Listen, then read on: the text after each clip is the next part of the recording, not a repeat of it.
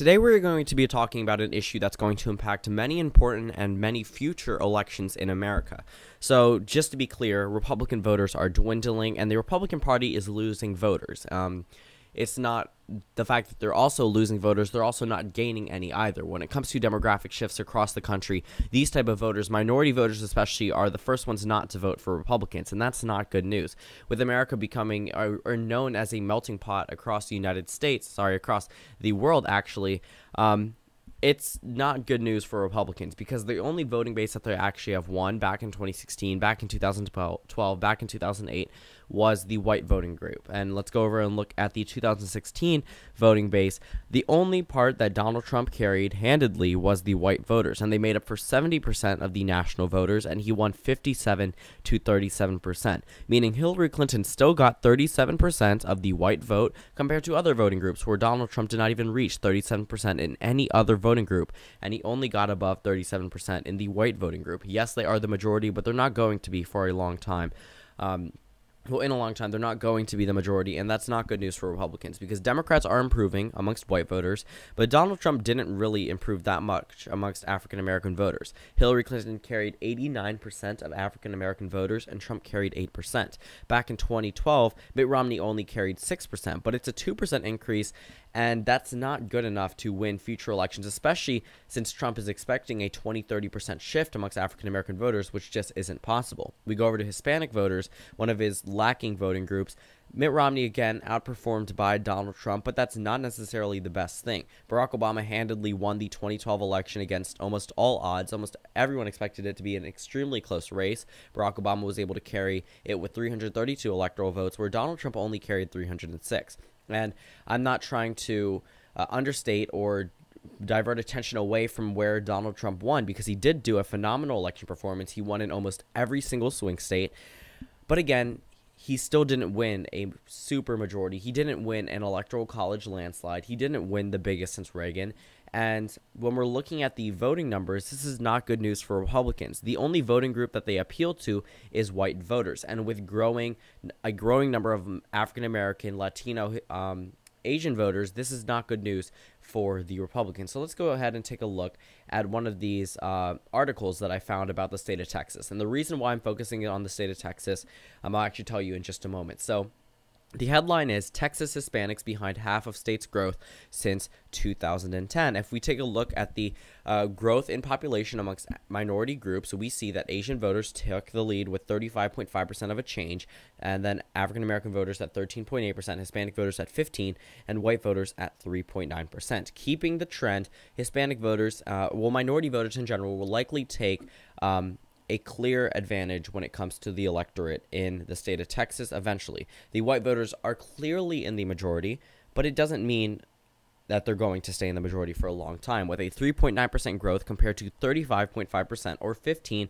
or 13.8%. That is not good news for white voters or Republicans. White voters are going to have less of an impact, meaning candidates are going to be not focusing on them enough. Yes, they are the majority that comes out and votes, but with an angered electorate against the president in minority populations. We're not going to see these type of turnout numbers that had such a suppressed turnout amongst minority voters. We're probably not going to see 70% of the electorate be white in 20 the 2018 midterms or the 2020 election just based off how angry these people are because of the president. We'll likely see maybe 50 to 60% but these margins are not going to be as great as they were in 2016. Almost everyone expected a Hillary Clinton victory. Yes, that did add to her defeat because a lot of people wondered why should I vote if she's already going to win? If I didn't agree with her in the primaries, why am I going to suck it up and vote for her in the general election? 2016 rolled around, Trump won, and not only did it corral Bernie and Clinton supporters together, it excited the entire electorate, both on the Republican and Democratic side.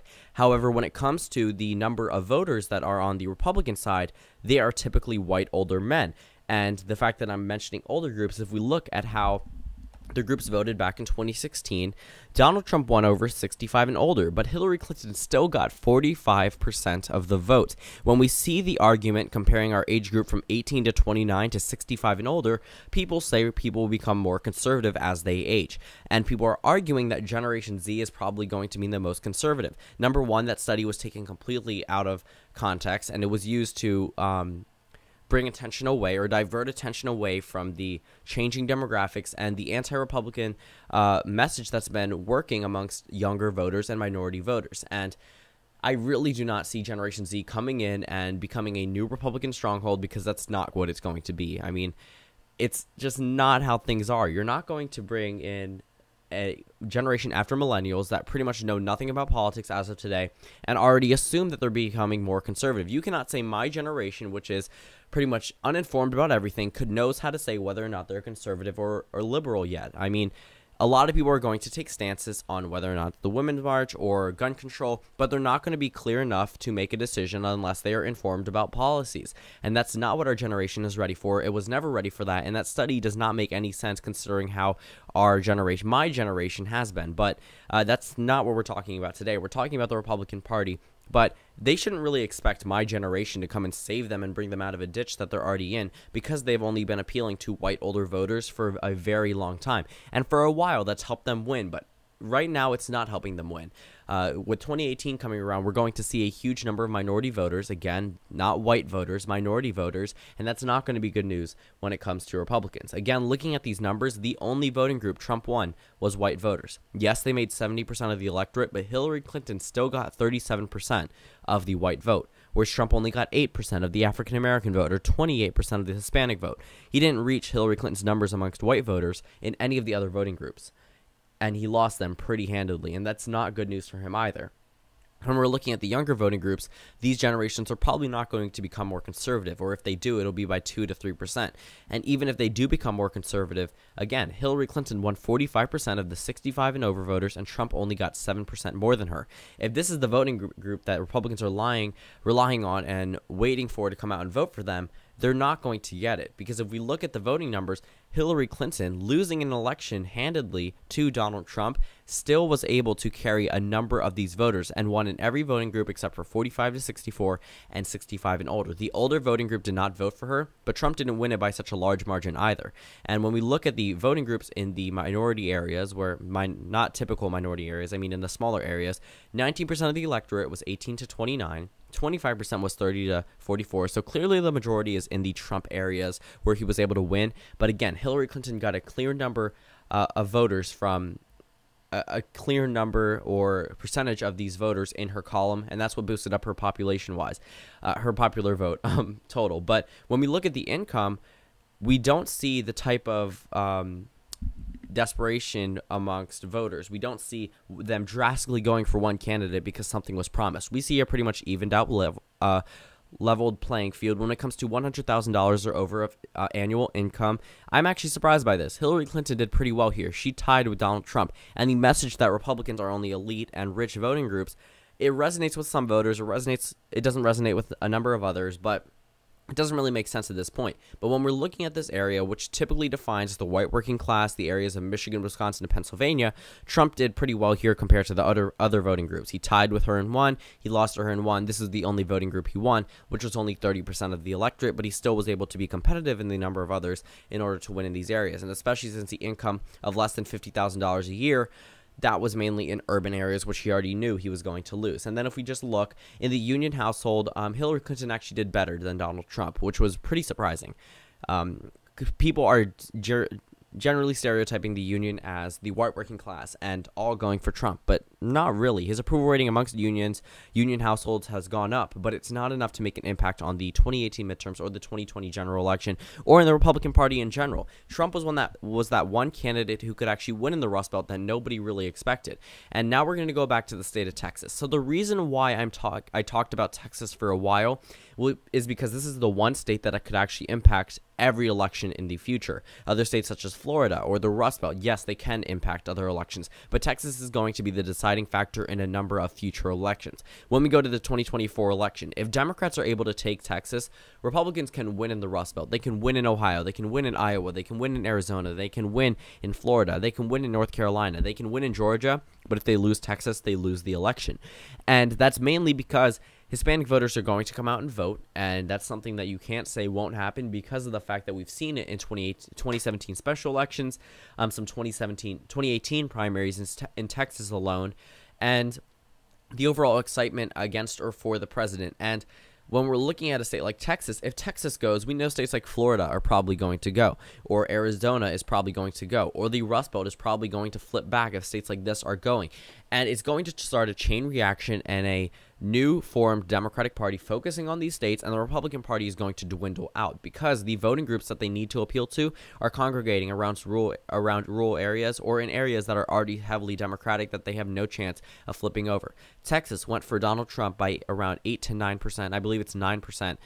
Um, back in 2016, um, or maybe it was 8%. It doesn't really matter at this point. Just know that he didn't win by such a large margin that he was expected to and that's not good news. He's losing in these voters. He lost. He almost lost. Um, in the Rust Belt. He was able to carry the Rust Belt. But if the Rust Belt's turning red and Georgia, North Carolina, Florida, Arizona, Texas are all turning blue, we're going to start to see a new type of wave. And again, Republicans could hold on to the Rust Belt. That's not needed for the Democrats anymore. Yes, they will probably still pay attention to it, but the Republican Party has a hold on these white voters, and that's something that they're going to have for a long time. But they're going to need to start changing their platform in order to appeal to minority voters, which they're probably not going to do. When we look at the demographic change, it's going to be so sudden and so swift that if we look first of all, if you look at the composition composition of Republican voters in the House of Representatives, they are mainly white. Or if you go into the Senate, they are mainly white. Whereas the Democratic Party, yes, still mainly white, has a lot of uh, diversity in their terms of uh, representatives, or if we look at the Trump White House, that's a clear example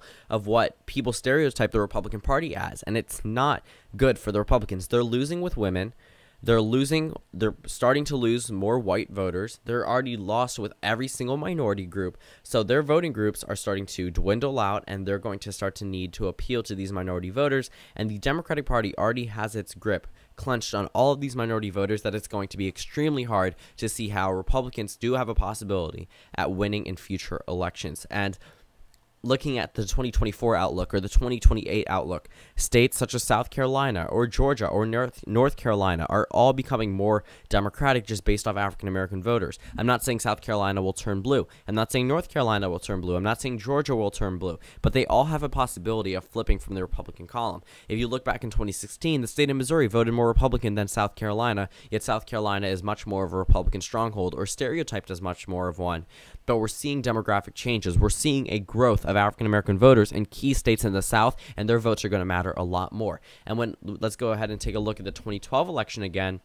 Mitt Romney did not win any of these voting groups except for the white voters. He won 20% over Barack Obama. Hillary Clinton won 20. Sorry, um, Donald Trump won 20% over Hillary Clinton back in 2016. So Mitt Romney actually carried more white voters than Donald Trump, and white voters made up more of the electorate back in 2012. He had Barack Obama was able to win over the presidency um, pretty handedly, and if we go back to 2008, 74% of the electorate was white voters, and then we go back to the 2000 race, 81% of voters were white. We go down to 1992 and let's look at the group voting.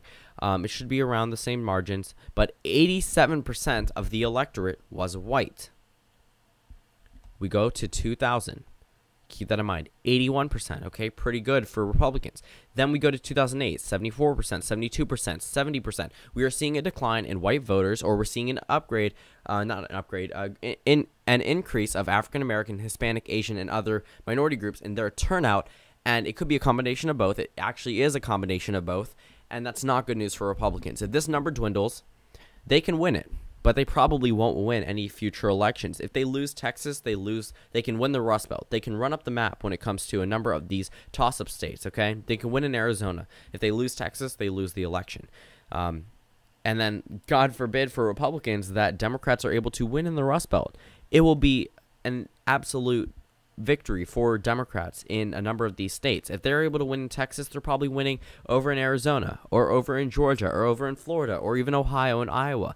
The possibilities are endless for the Democratic Party because they are expanding on their voting groups and more voters that are going to vote for them are coming into the country or registering to vote or are already in the country and coming out to vote after being registered to vote for a long time whereas Republicans are losing. They're losing their white voters. They're losing their older voters. They're not doing well with the president they have right now. And 2018 is probably going to be a big shock for Republicans, the ones that believe that Donald Trump is going to help them win in the 2018 midterms. Sure, maybe he'll help you a little bit, but keep in mind Republicans are not going to gain any seats, maybe in the Senate, but probably none in the House.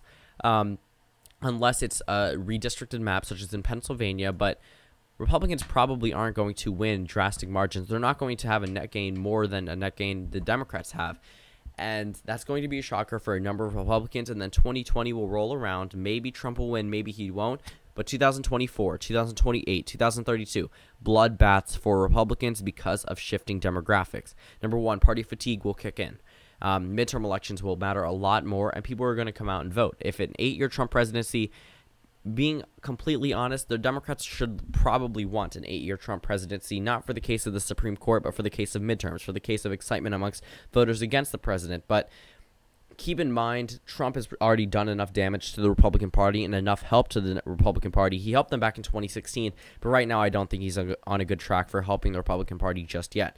He does have a clear possibility of helping them in 2020, but 2018 is probably a lost cause, and he could help rebuild the Republican Party into a new Trump style party, which could definitely help him with a number of voters. But the Republican Party right now is so hooked on that Paul Ryan, Mitt Romney, um, yeah, uh, the Kentucky senator, I forgot his name. Oh, Mitch McConnell. Um, uh, those type of people that are, are, running the Republican Party are the reasons why the Republican Party is going to dwindle out eventually, and why they need to vote. They need to gain new voters, and why their voting bases are pretty much dwindling out again. So thank you guys for watching this video. I apologize for it being so long. I'll probably go live uh, pretty soon. Probably not today, but in a couple days. But um, again, thank you guys for watching this video. Comment down suggestions below, and I'll see you all tomorrow.